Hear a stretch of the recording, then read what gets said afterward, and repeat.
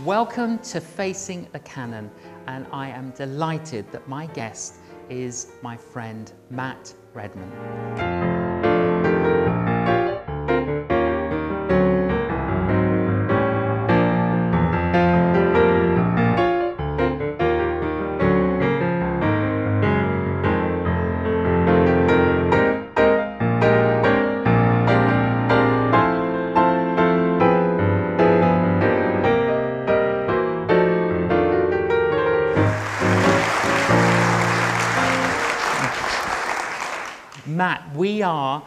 In St Andrew's Church in Yes. Chorleywood, and this is a very special place for you.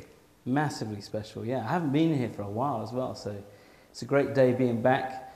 I came to church here from a real young age, and uh, my dad was, his funeral was here. I got married here, um, got baptized here, and uh, I was on staff here, leading worship here. So Wow. spent a lot of time in this room, a lot of Sunday afternoons on my own, panicking about what songs to do that night, stuff like that. So Lots of fond memories. yeah. So, do, you lived in Chorleywood? Uh, yes, from about the age of two. and you went to school here. Yeah, just up the road. And uh, g- uh, growing up, what was that like? Um, a bit of a mixed bag, I think. Uh, you know, uh, we actually started coming to the church because me and my brother, all our mates went, and my mum and dad weren't Christians, and so we dragged them along here because our friends went here and we wanted to go, and they became Christians, which is wonderful. And um, but then um, I had kind of a pretty carefree childhood up, up until about the age of seven, and then the age of seven, uh, one shocking day, uh, got home from school and was told that my uh, dad had died. And um, it's very shocking news at the time, obviously. Sure. Uh, and a little while later, I found out he'd actually taken his own life.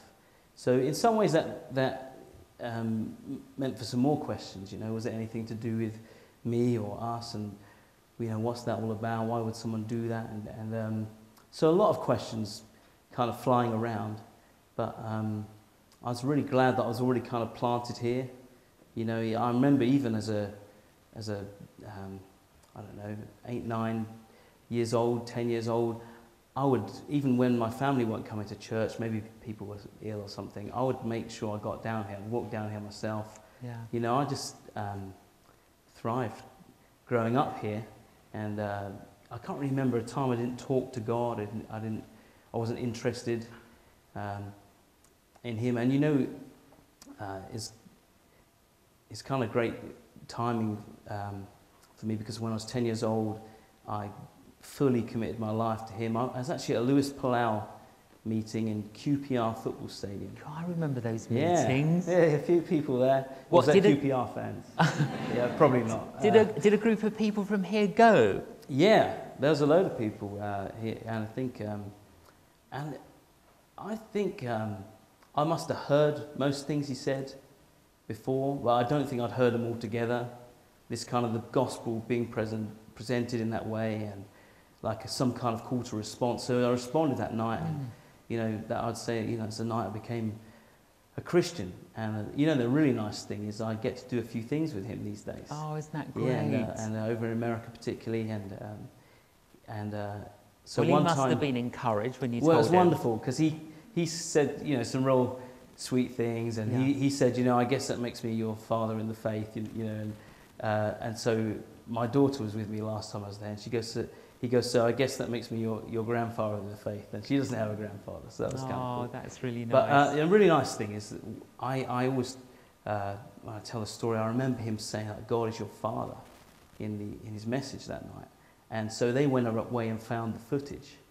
So, of, uh, so they made a little video of my testimony. Oh. And, I, and I'm saying that, and then I didn't know they found the actual footage of him saying that. So that was nice because, you know, you remember things, and it was nice I remembered exactly how it, yeah. how it happened.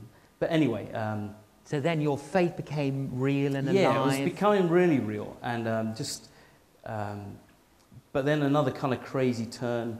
Um, you know, my mum had remarried, and uh, I don't really want to go into the details, but you know, the guy she remarried abused our trust as a family in a major way, and it was it was a crazy time uh, for me. but it propelled me towards God. I think those times that either you make a decision, don't you? Have a choice to make. Do I believe that in God? You know, do I believe He's good? Do I believe He's in control? There's some big decisions. I'm sure at that age I couldn't, you know, verbalize that, but I know that kind of uh, tension, struggle, those questions are going on inside me, and it just propelled Yeah. me towards Him. I think I knew enough about Him, even at that young age. That's what I mean about so great Yeah, being sure. planted here so early, because I knew so much about Him at that young age that I knew enough to know I don't get this, I don't understand a little bit of it even, but one thing I do understand, I know God's good, I know He's real, I know Jesus is for me and He's with me, and I don't know, somehow I had faith to believe He had a plan for me, and And you, did you, you felt that even during those abusive years? yeah, I felt like um, I don't remember a time thing, e- even in the craziness of that, all those moments, I don't remember a time thinking I don't believe in God, or you know, I don't even. Um, I was angry at what was happening, but I don't know I was particularly angry with him. I was, he was my only hope. I felt like, and I was trusting him and Yes. reading the Bible and thinking, well, he- it says in here, God's a father to the fatherless. And uh, so, you know, and it's all these, you know, I remember one psalm I used to read a lot was Psalm 121. I lift my eyes to the Yeah. hills. Where does my help come from? My help comes from the Lord, the maker of heaven and earth. And that was a big psalm to me. I'd be in that a lot. And um, so, So you started coming here to, uh, you were to the church. Your, your uh, youth leader yes, was uh, Mike Pilavachi, who's here, yes, here tonight. yes, he's uh, still he a good- doing youth work, I He's hear. still doing youth Yeah. work, I know. Has, I has he got his bus pass? I don't know. Not He's, uh, yet. yeah. Was he a good youth leader? He was brilliant. He's the best. The, uh, I mean, seriously, because I, I, you know, I was going through all this crazy stuff, and um, you know, it took, it took. Uh, I wasn't going to tell anyone what I was going through, so it took a great youth leader to kind of hear from God or perceive something weird was going on with me. Then, second step to get me to, you know, talk about that stuff, and he walked me through a lot of that, and I think. Yeah. Um, but here's a really cool thing. I mean, this church was great anyway for, you know, uh, Bishop David Pytches leading it, and uh, just it was a great environment for young people to grow up in. But you know, particularly being in the youth group with Mike, it wasn't just um, okay. Let's try and get you through this stuff, and maybe you could be healed up a little. But it was like now you're going to run, you know, and uh, he's the one who encouraged me to get you know, writing and leading. And, uh, it's kind, of, it's kind of emotional even being here Sure. tonight because I've been, I've been walking the streets today around, haven't been here for ages, and just grateful to God. You know, um, says in the Bible, God, um, Joseph calls his son Ephraim, and he says, "Because the Lord made me fruitful in the land of my suffering," Yeah. and I just, you know, feel that. Sure. So, God, how did you get into like worship? And Well, it's the, How did it was all the, that it was a big hairy Greek again. You know, he, uh, he, he uh, I'll tell you what happened actually.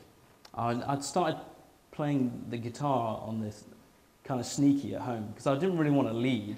I just wanted, I loved what was going on in, in the, the church and these songs. I just thought I'd love to play some of these at home. So I was doing that.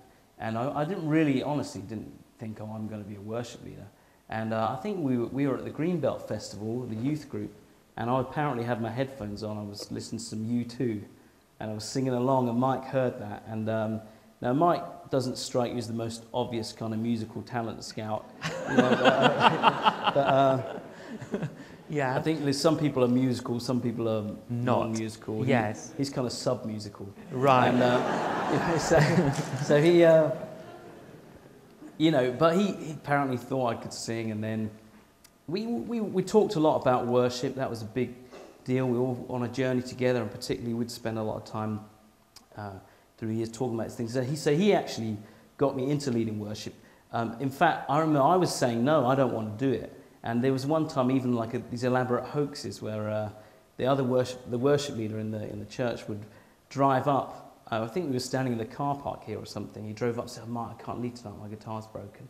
Kind of drove off, and I just saw him smirk before he, before he accelerated away. And I thought, oh, okay, here we go, this set me up. Yeah. So I was, you know, I wasn't. And, and the first time I led, I led there as a redeemer. And we didn't even get to verse 3. I, we didn't stand in glory, you know, because I, I was like, okay, I'm done with this. This is, this is, you know, it's a lot to compute, you know, singing and playing. And, but, um, so he, Mike really encouraged me into that. This was a great environment to grow. And, um, but I definitely loved what happened when the people of God, in the presence of God, pouring out the praises of God. Yes. And there's something that got in me really young, and I, I, I could never shake it, I would never want to. There's a dynamic.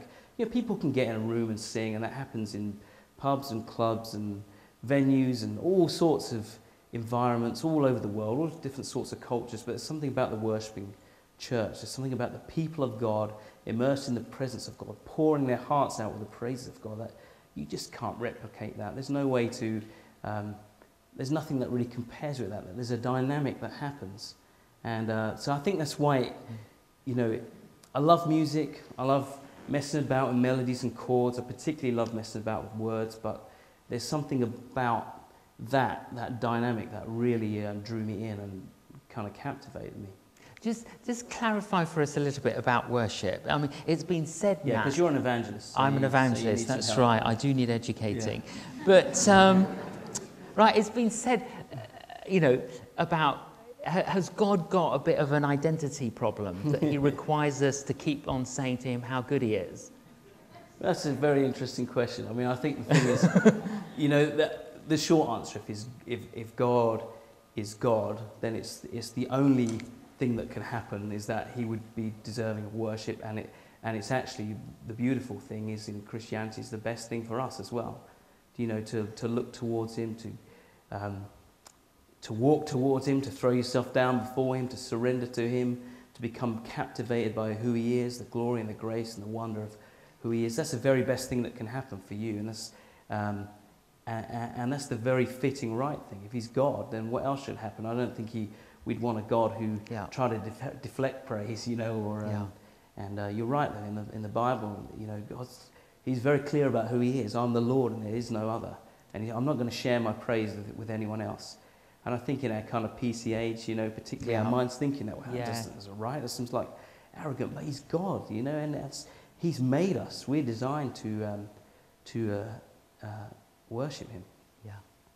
And, And, and what I love is, you know, um, one, one of the nice kind of uh, liturgy things is uh, to, to, we're called to worship God and enjoy Him forever. and enjoy him And I forever. think those two things Absolutely. go side by side. Yeah. Now, um, when we get to heaven, Matt, Yeah. okay, Me and you or everyone? Yeah, you and me. yeah. When we get to heaven, okay, we're going to worship God for eternity. Yeah. Yeah. But when we get to heaven, we're not going to evangelize. Yeah. Right. So that you kind of thi- makes what I do. No. Yeah. I'm just so, joking. I'm joking. so I'm just. So, do you think we should cut down on the worship while we're here on earth, and up the evangelism? Oh, Because I know, think the two flow pretty beautifully together. You know, they're, they're uh, I'm not going to let you finish there. no, but go on, go on. Um, Um, let's hear your point Well. I think they're just, they're just, John Piper says some great stuff in his book, Let the Nations Be Glad. He says worship is both the fuel and the goal of missions. So uh, it's, it's what propels us out there in the first place because we love God, we care about the honor of his name, and, uh, but at the same way, it's what's meant to happen. The, it- the result of mission is there's meant to be more worshippers and better worship so, of him. So, uh, sure, but this- they're kind of tied together. Yes, but worship uh, uh, is an expression of the, of the fact that we are concerned about the glory of God. Yeah. But how can you be concerned about the glory of God and be unconcerned that millions of people are perishing? I don't think you can, no. No, but, but mm, you know, you put on a worship conference, people go. you put on an evangelism conference, no one turns No, up. that's, that's just your ones.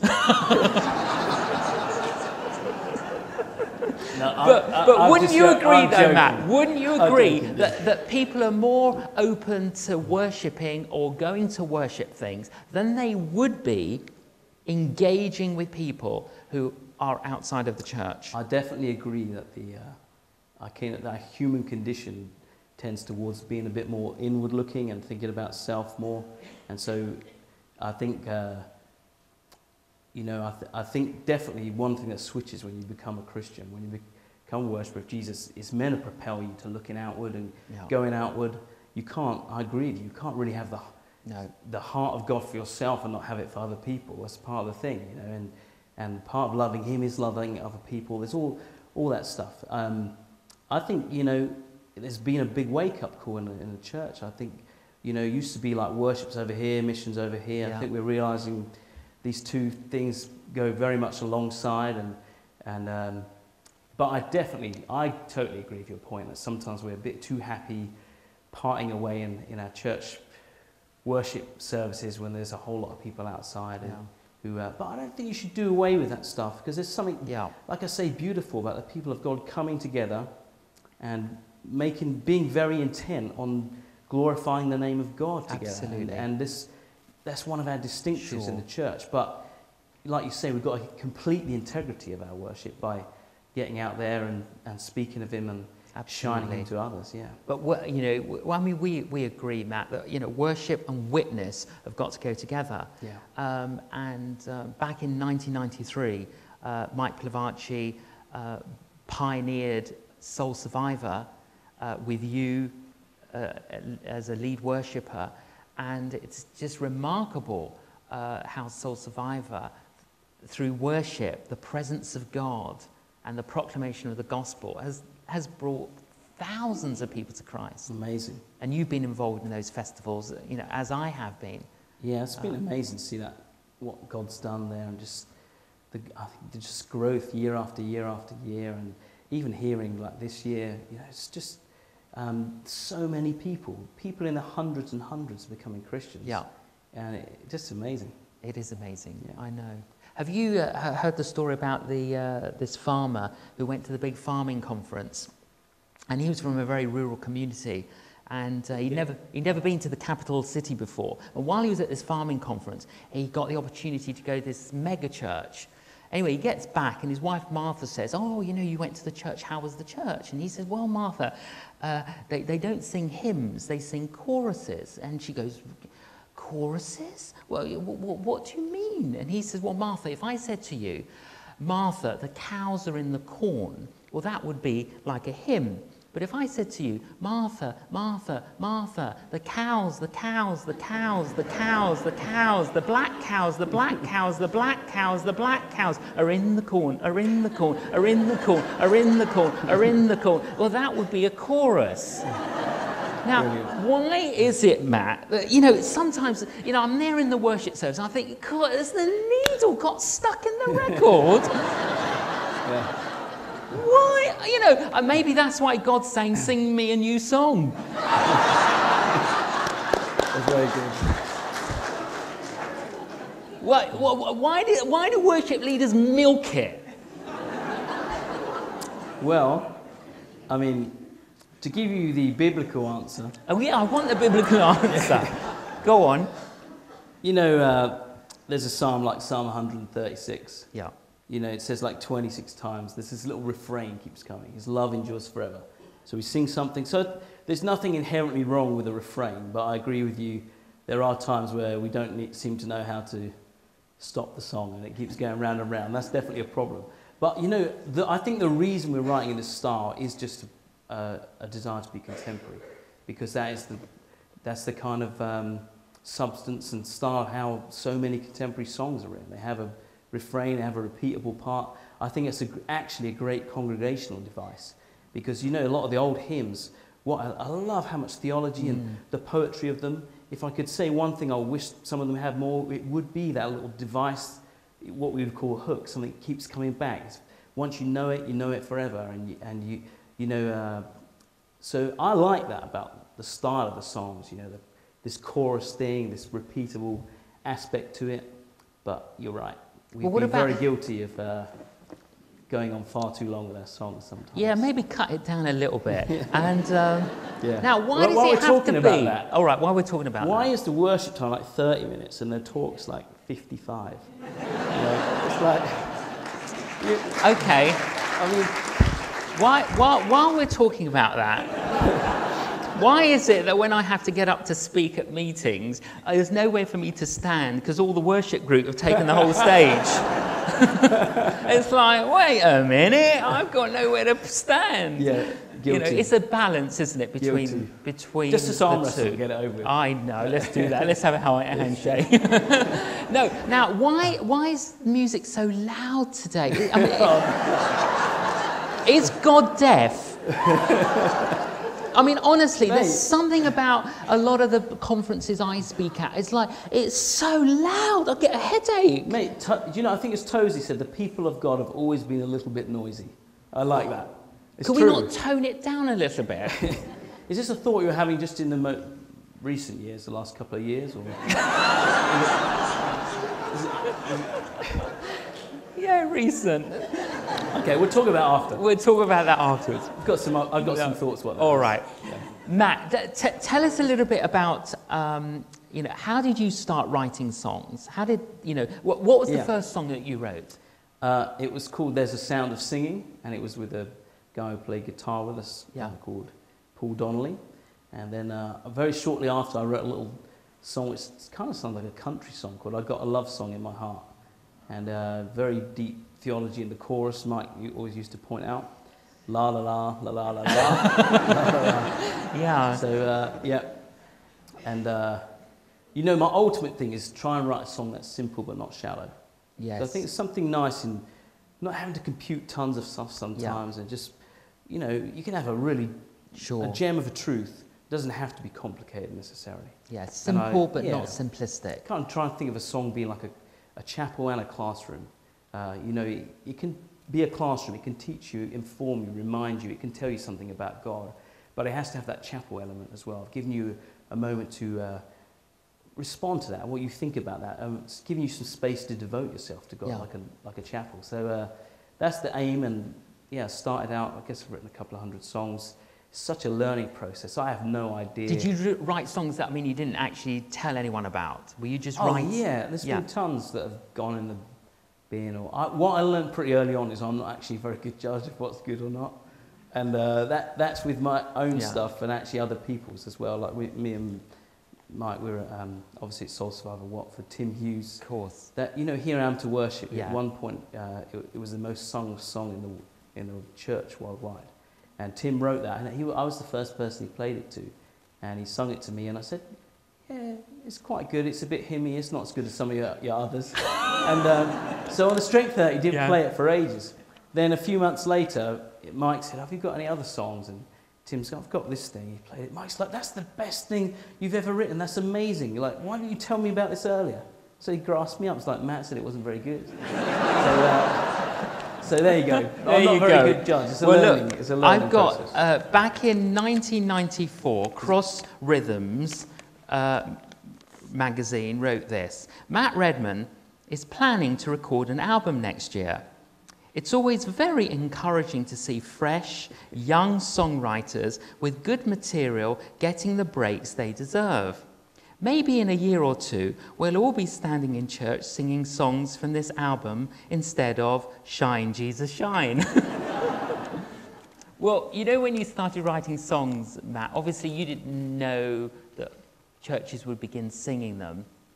Uh, No, but not, obviously, wh- wh- which was, which song actually kind of got known that introduced you as a lead worshipper? Um, there was a couple of early songs. I Will Offer Up My Life uh, was one of them, um, particularly here in the UK, and then uh, a song called Once Again, which is all about the cross.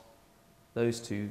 But I think one of the songs that really, um, there, was, there was a fresh stirring all around the world. There was a lot of new worship music coming through, and, and, and the song Heart of Worship.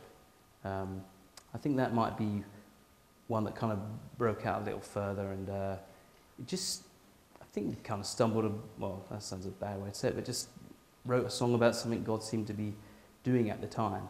It has a, How, uh, where were you in your own life at that time? How, did that song come out of something? yeah, and very much out of what was happening at Soul Survivor Watford.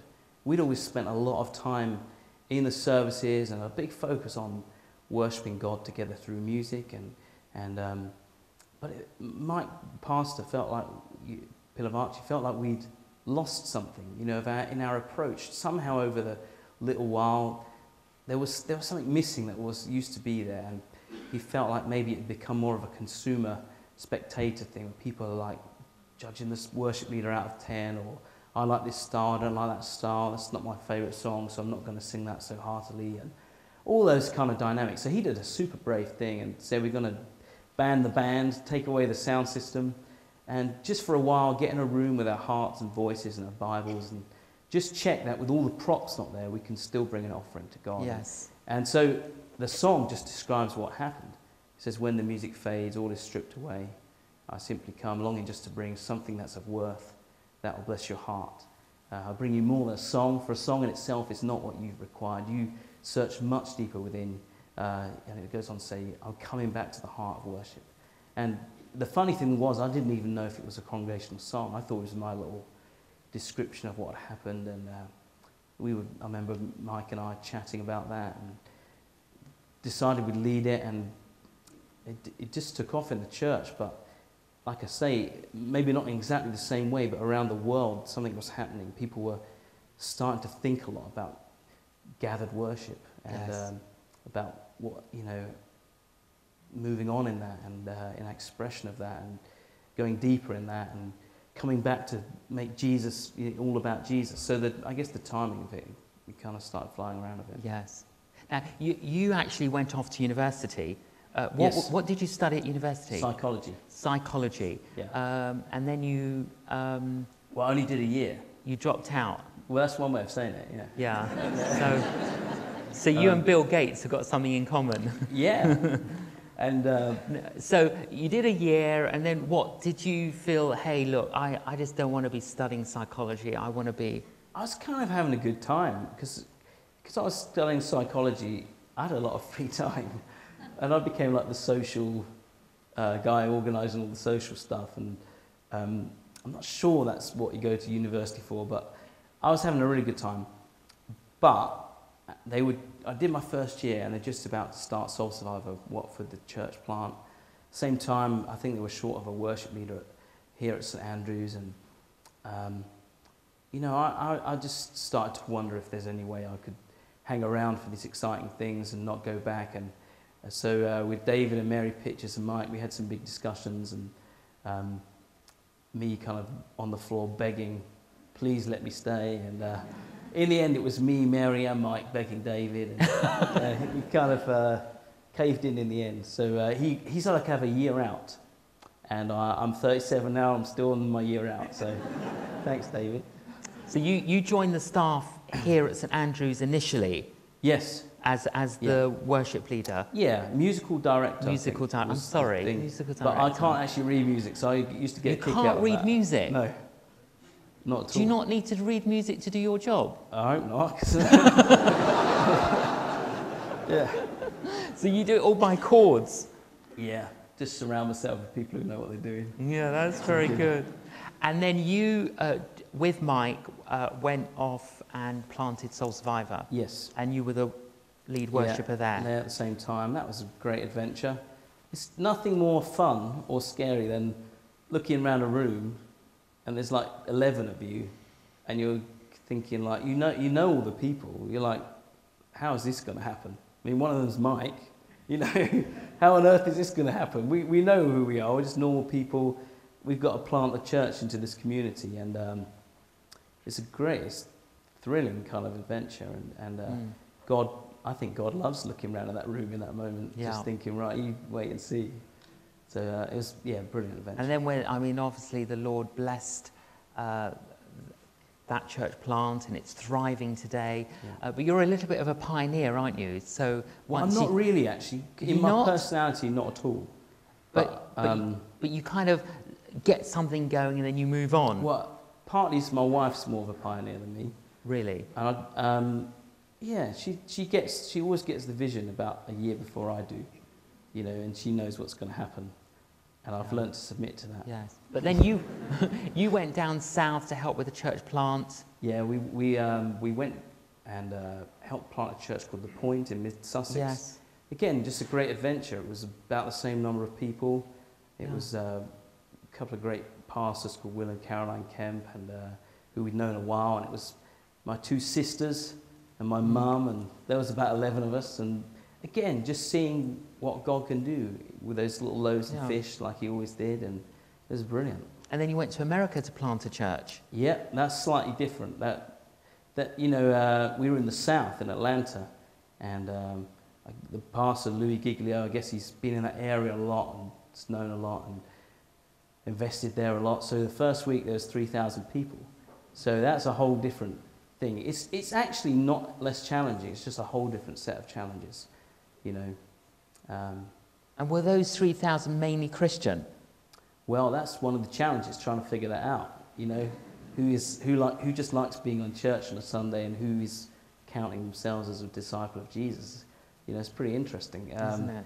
but they, they're on a great adventure. We were with them for two years, and it, it's it's really great. You know, it's um, there's a lot of huge churches out Yeah. there, but there's a lot of people who don't know Jesus. So Yeah. I love it. All these, you know, different flavors springing up all over the place, and it's great.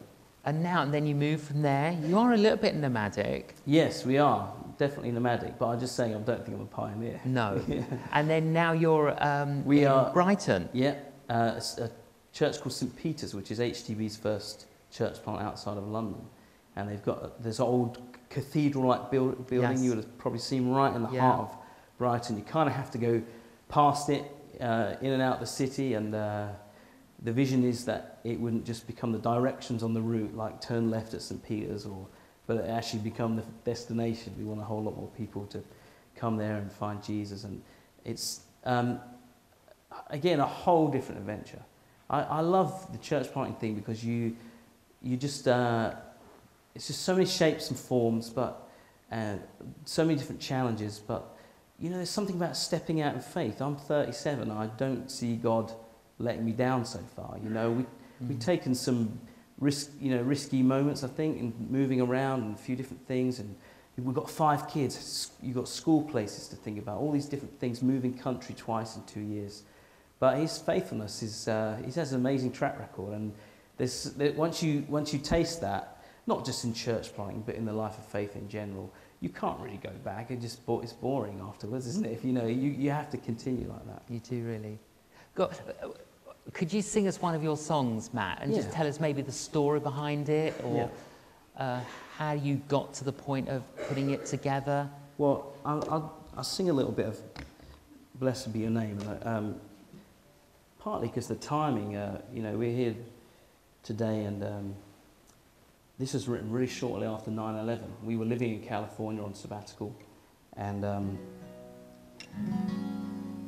and uh, it's just an interesting time to be out there traveling around all these different churches Yes. and um, I thought the preachers were doing a great job actually. Yeah. You know, they were speaking about the compassionate heart of God, the sovereignty of God, control. They were just speaking some good stuff. And there's a lot of people out there flocking to church who weren't normally in church. But I was thinking, where are the songs? You know, there's, what do you sing at a time like this? And that felt a little odd to me, partly because like that would be a really good thing to do right now, to have some more vocabulary. You know, how do we talk to God in this moment? But also, I felt like, but it, not only is it thoroughly relevant, it's thoroughly biblical, and we, you know, we talked a lot about that theme, um, you know, Soul Survivor different places. Just this whole thing of um, songs of trust through the storm and songs of lament, and, uh, and I think uh, it's definitely one of the kind of colours that we need to have in our, in our worship spectrum, and so partly thinking about that, partly being out there and such a crazy time in, in a nation and kind of feeling the heartbeat of God and the heartbeat of the nation. It, this, this song, Blessed Be Your Name, poured out pretty soon after. And um, you can tell we didn't write it in England because it's, uh, I'll sing you a bit of the second verse. Blessed be your name when the sun's shining down on me. we were out there in California, top up the tan, Lord, you know, to your glory. And uh, it was good. Blessed be your name when the sun's shining down on me, when the world's all as it should be. Blessed be your name. Blessed be your name with suffering. Though pain in the offering, blessed be your name.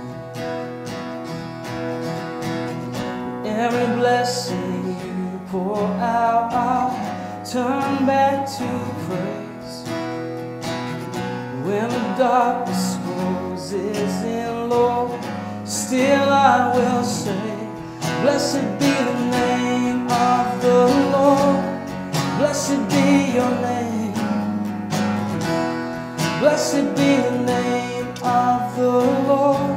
Blessed be your glorious name.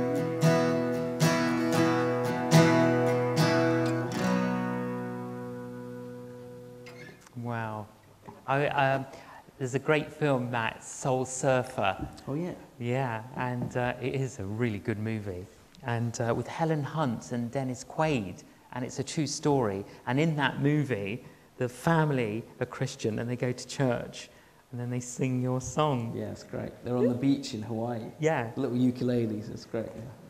Have you seen the movie? Yeah, yes, uh, yeah. So when you saw them singing your song on this Hollywood movie, it must have felt a little bit surreal. Um, yeah, it was a little surreal. Um, it, I guess because when you write the songs, you're thinking about congregations and you're not thinking about, you know, this is going to end up in a movie. But it was, it was, they did a really good job of it. It's wonderful. They put a big part of the song, uh, Mm. and uh, I guess maybe lyrically it, it uh, tied into what happens later in Yeah. the movie. So it's Yeah. great. Yeah. Now, over the years, Matt, you've put together a number of different albums, and uh, your most recent album is 10,000 Reasons. Yes. So, why did you call it 10,000 Reasons? Well, there's a lyric in one of the songs. It says, um, For all your goodness, I will keep on singing 10,000 reasons for, for my heart to find. And what I love about that is about, you know, about any, if you said that about anyone else apart from God, that would just be a complete load of, you know, it's just hyperbole and overstatement. And, but when you say that about God, there's 10,000 reasons, that's a complete understatement. It's a poetic understatement of the truth. There's many, many more than that. And it's just yeah, a, sure. um, I guess the point of it is, um, you know, that he's just so utterly worthy, and it, you know, you, we've got the, the reasons for his praise flying at us every day from every imaginable angle, um, be it looking at how he's made you, looking at what he's done in this world, looking at his, uh, what he's done through history. I mean, just studying the holiness of who he is or the grace of who he is. I mean, there's just you just, once you get into it, you just can't stop. And I wanted the the uh, you know the song and the album to reflect a little bit of that. Matt, what would you say to people who are finding life quite discouraging at the moment, maybe even despairing uh, with all that they're trying to cope with in their lives? Yeah, I think I'd say you know a huge part of the worshipping life is trust, and it's one thing, you know, um, when everything's going well. But I think some the, some of the times that define us most are when things aren't going well, and so you might be walking through a moment of discouragement or distress or even despair right now. Um, but the funny thing is, the very best thing you could do right now is to, to uh, believe in God as who He is. Almost take your eyes off yourself and look at Him. And, and there's something about, um, you know, trusting God's always going to involve unanswered questions, it's going to involve confusion. And that's part of the life of worship, that's part of the life of being a Christian. But like I say, that, those moments can, they can really mark us out, you know. Yeah. And, and so if you're in that place right now, um, just don't underestimate trust. Don't underestimate. There's not many things in life you should put all your eggs in one basket, but when it comes to Jesus, you definitely should. Should. You know, and, and that means, uh, you know, that means being all in, even in those moments of despair. Like, I don't get this, God. Like I said earlier, when I was talking about my story, I don't understand a little piece of this, but something in me knows that you're greater uh, than, than this situation, that you're just as in control as you were before the situation, that you're just as loving and kind and merciful uh, as you were before the situation. And so I'm, I'm still all in, I'm still going to trust. And I, I don't think that sometimes that means everything clears up straight away. And, you know, sometimes, you know, situations move on. Sometimes you, you're in a painful thing for a long time, but even though the situation hasn't changed, something in you's changed. Yeah. There's something about that worshipping gaze on God. It changes your whole way you look at life, your whole perspective, and uh, it's good for your soul. Yeah. I was um, uh, recently uh, on a train going to Edinburgh, and um, I was uh, listening to your 10,000 Reasons. I had my earphones on and, and uh, oh, I was crying and I was listening, listening, and then I started singing it out loud. And then Killy said to me, Stop it! and um, um, it's interesting, uh, Mike Pilavachi, you and I were talking about your album, and, and it's interesting that um, he said that, that there was one song in there, one song in there that really moved him. And, and I said, Yes, there's one song in there, there's one song that moved me. And it was two different songs.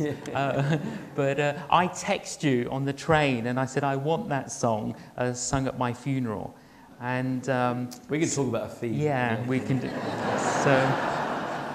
I'm kidding. I know. So before, before um, do you want, do you I'll have the, it sung at my funeral. Do you think you could sing it now? Yeah, I could. But at your funeral, just to be clear, do you want like a full Greek, like bouzouki? Yes, I do. I do. I want all of that. You know. Yeah. So, uh, could you like maybe sing part of the song that Mike liked, and then part of the song that okay. I liked? And maybe what, what's the story behind those two songs, Matt? Um, this, I was singing a bit of Never Once. I was singing a chorus, uh, well, yeah. a verse and a chorus of that, and that that's a song about God's faithfulness. It, it's actually um, we were in, I was in an empty house in Atlanta. We'd left, all flown home, all our stuff's back in England, and I went back to our house there, and it's totally empty, and it's just me there, and I had my guitar, and I just started thinking about God's faithfulness, about the scars along the way, the struggles, but also the victories, and um, you know, just the whole thing of all that transition and not even knowing where we were going to be now. And it just, yeah, it, it you know, I was just reminded never once have I walked a you know step alone, and uh, so that's where the song came from. Standing on this mountain top, looking just how far we've come, knowing that for every step you were with us, kneeling on this battleground, seeing just how much you've done, knowing every victory is your power in us. Scars and struggles on the way, but with joy our hearts can say, Yes, our hearts can say.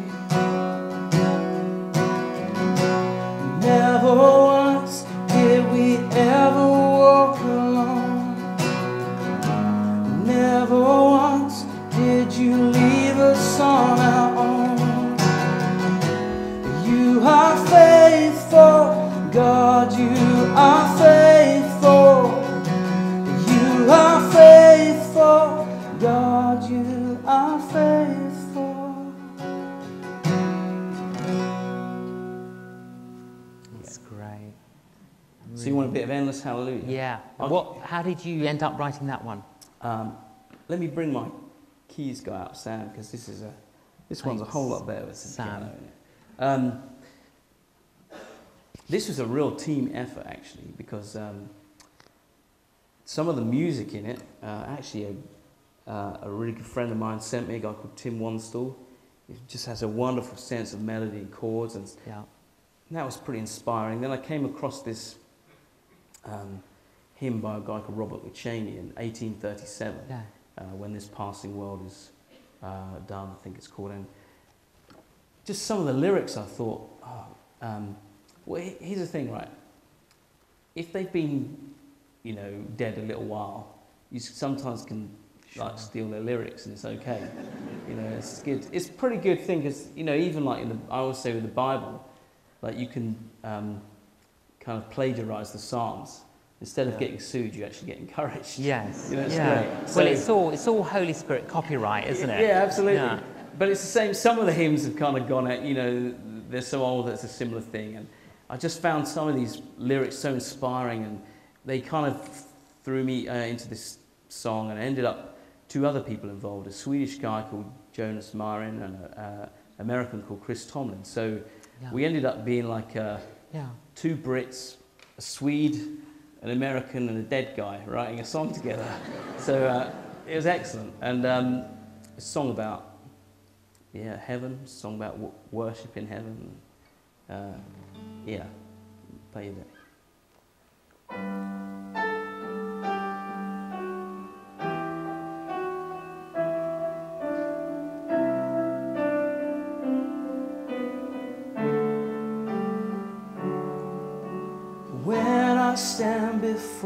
throne, dressed in glory, not my own, what a joy I sing of on that day. No more tears or broken dreams, forgotten is the minor key. Everything as it was meant to be. And we will worship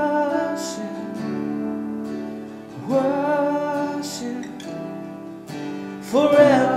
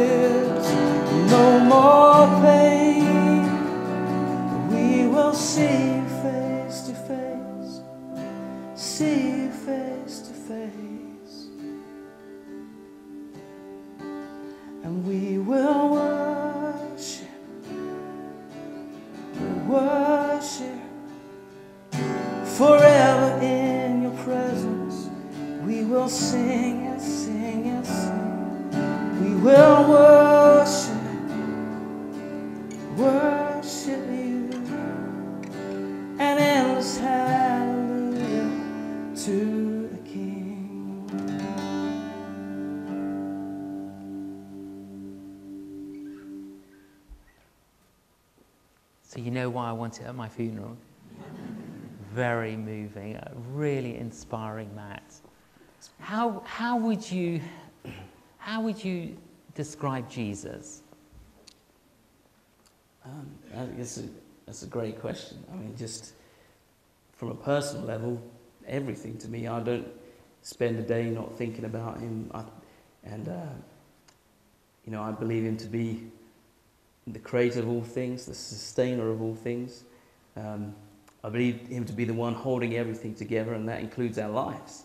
It includes our little messes and struggles and strifes. And um, I believe he's the one true God. He's eternal. He's the God of yesterday, today, and forever.